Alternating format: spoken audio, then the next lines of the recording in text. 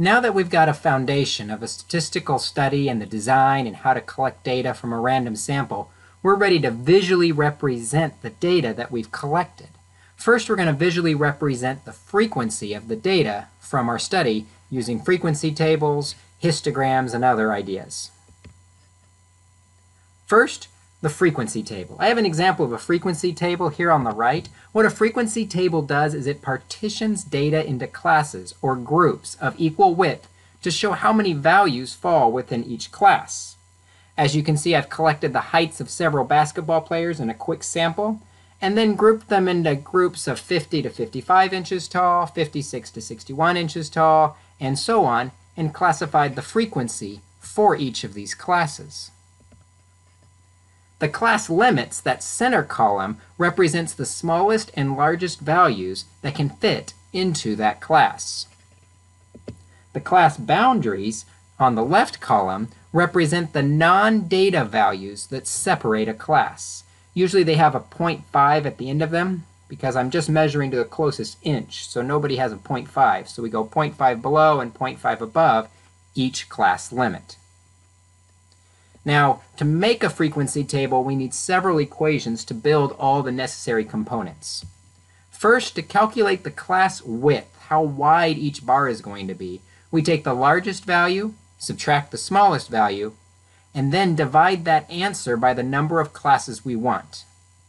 Usually this gives us a decimal, but even if it gives us a whole number, we must round up. Regardless of the decimal, we will always round up to the next whole number above whatever this equation gives us.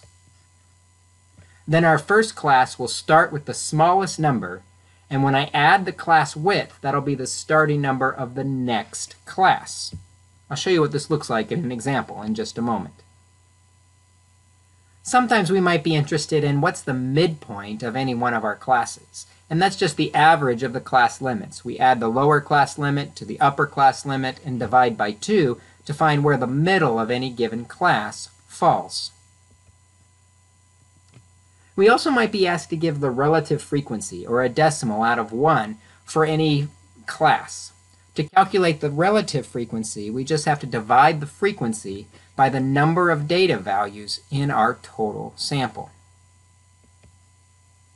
And finally, we also might be interested in the cumulative frequency.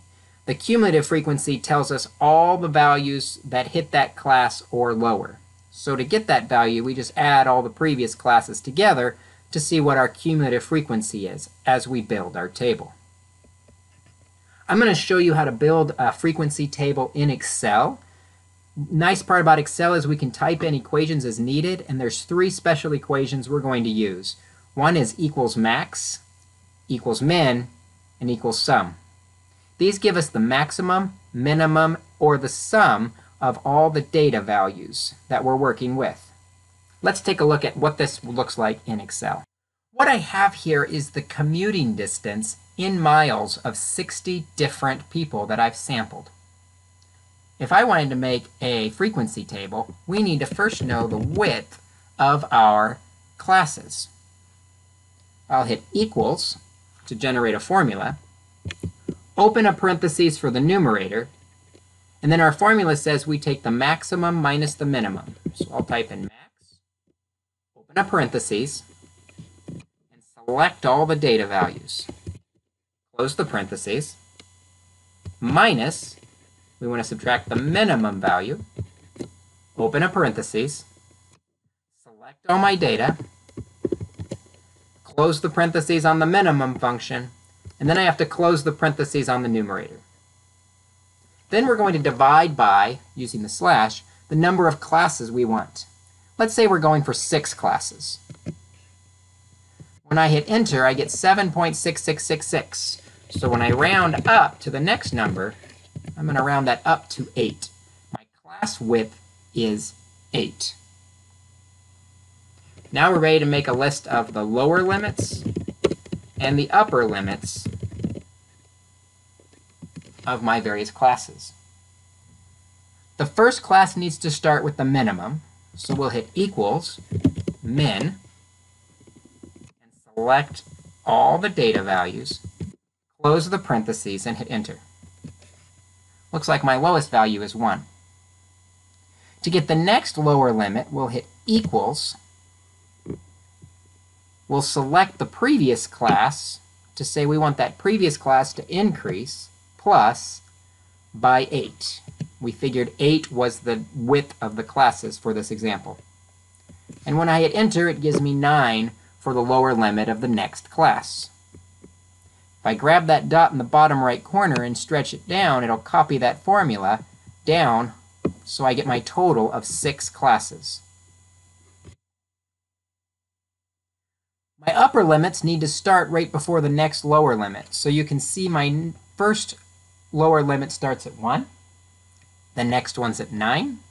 So the upper limit must be 8.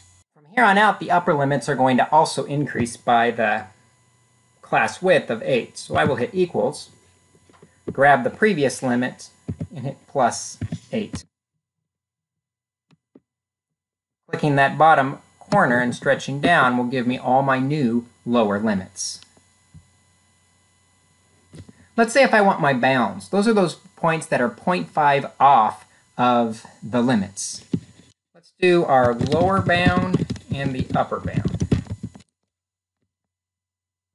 For the lower bound, I can hit equals and then select the lower limit and we want to be 0.5 before it. So I'm going to subtract 0.5 and hit enter, and that'll give me the value 0.5 below the lower limit. My lower bound's 0.5, and I can grab that dot, drag it down, and there's all my lower limits. Similarly, for my upper limits, I can hit equals, click the upper limit, and we want to move to the right of the upper limit by 0.5. So I'm going to do plus 0.5. And that gives me 8.5. And notice 1 through 8 fall between 0.5 to 8.5. Grab that dot and stretch down, and there's my upper bounds. All right, we're ready to find that all-important frequencies. You could, for your frequencies, go through and make tally marks and count all 60 data values, but I'm going to show you how Excel can help us actually calculate those frequencies a lot quicker for us. First, if you've never used the statistics data pack that comes with Excel, you're going to have to turn it on. To turn it on, you'll click File, go down to Options, select Add-ins, and then you want to look for the Analysis ToolPak. Click Go, and make sure you check the Analysis ToolPak and hit OK. That part you only have to do once for life. Now we're ready to use the Analysis ToolPak, which is under Data. Over on the right, under Analysis, you'll see Data Analysis. Click the Data Analysis and look through the list for the option marked Histogram. Click Okay? And then we have to tell it where to find all of our information. First, the input range. Click the little arrow next to input range, and you want to select all of the data values in our data set. For the bin range, the bin range, these are the upper limits of each of the classes. Select bin range, and then select all the upper limits. Then output range, select output range if it's not already selected, and then you're going to tell it where you want the data to fall that it's going to calculate. Let's just stick it underneath my chart actually. So the cell I select here, B19, is going to be the first cell of my output data. When I hit OK, it gives me really quickly the bin number, 8, 16, 24. Those are the same as my upper limits. And the frequencies for my frequency distribution. Let's fill them in. 14, 21, 11, 6, 4, and 4. It always creates a more row. If you've done this correctly, more should always have zero data values. We've, cal we've calculated now our frequency distribution, but let's also fill in some more information. Let's find the midpoint, the relative frequency, and the cumulative frequency for each of these rows. First, for the midpoint, that's an equation. It's that we take the limits and find their average. So we'll equal equals, open a parenthesis for the numerator, click the lower limit, plus the upper limit. Close the parentheses and divide by 2 because there's two data values. 4.5 is our first midpoint. And if I grab that arrow and scroll down, we end up with all of our midpoints. Relative frequency says we're going to take the frequency for that row and divide by the total number of frequencies. So first we need to figure out what the total number of frequencies is. Underneath here, I'm going to hit equals, SUM for sum, open up parentheses, and then I'm going to select all the frequencies. And when I close the parentheses, I see I've got a total of 60 values. So for my relative frequency, we'll take that individual frequency and divide by the total. Equals, grab the relative frequency, and then divide and I'm going to manually type in the 60 here because I don't want that number to change as I scroll through the options. Otherwise, it'll scroll down looking for different sums. We don't want to do that. So we'll type in the 60 because we want that to stay the same. When I grab that dot and scroll down, it's going to divide each frequency by 60.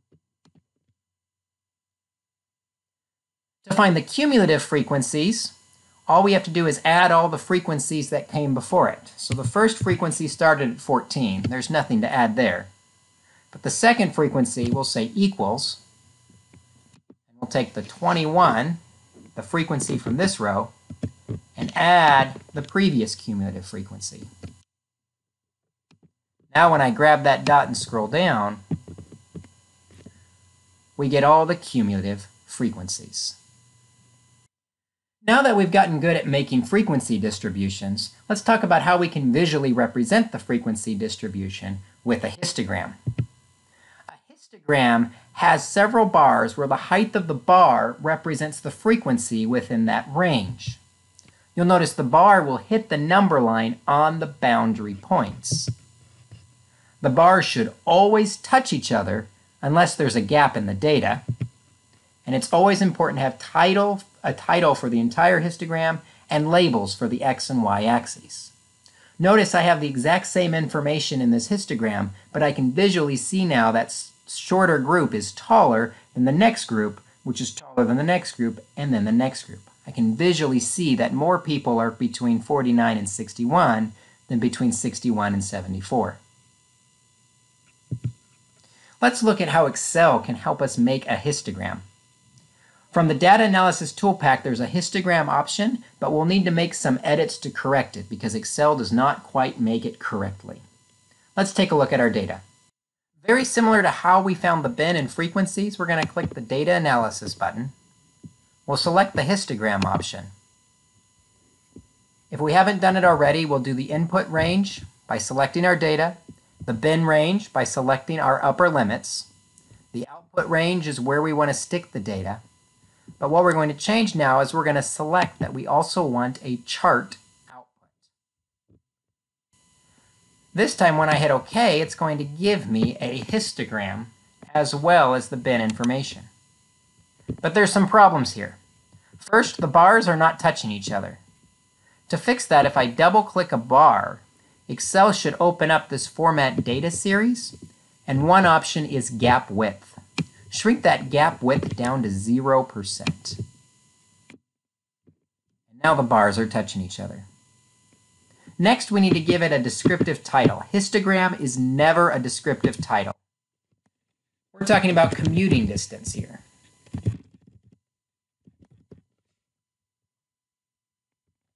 At the bottom, bin is not a descriptive title either, or a descriptive label for the x-axis. these numbers represent the distance, let's give it some units. Maybe we're talking about miles. We don't really need the key because there's only one value in there. And now I've got a decent histogram. I'd probably want to make this larger so that I could see it better. But for our sakes today, that's going to be sufficient. Another way that we can represent the same data visually is with what's called an ogive. An ogive, as I have an example here on the right, is a line graph that displays the cumulative frequencies for our data. Each dot is going to represent the upper class boundary. And the first class boundary is always going to start at zero. And of course, it needs titles and labels. So now I can see where the cumulative frequencies of these basketball player heights fall all the way up till we have all 17 falling under 74 and a half inches. But I can definitely see the steepest height comes between 49.5 and 61.5. That's where you see most of the players falling in before it levels out. Excel can also make an ogive, but it calls it a scatter plot with straight lines. That's what we want to select. And again, we're going to have to make some edits to correct it. First, we always need to add a row for the first dot to fall at zero. Next, we have to tell Excel what minimum bound, where do we want the counting to start at, and what major unit I want for the x-axis. How wide is my class? And of course, we're going to need to add a title and labels. So first, I need to add a row in for my upper bounds. I need to add a row in for the zero. Do that if I click row 12 with a right click and hit insert. It's going to stick a row up above. Now I need to back up my class width from that previous upper bound. So I'll hit equals, select the 8.5, and subtract 8 because we said 8 was our width. Now I have my upper bound value.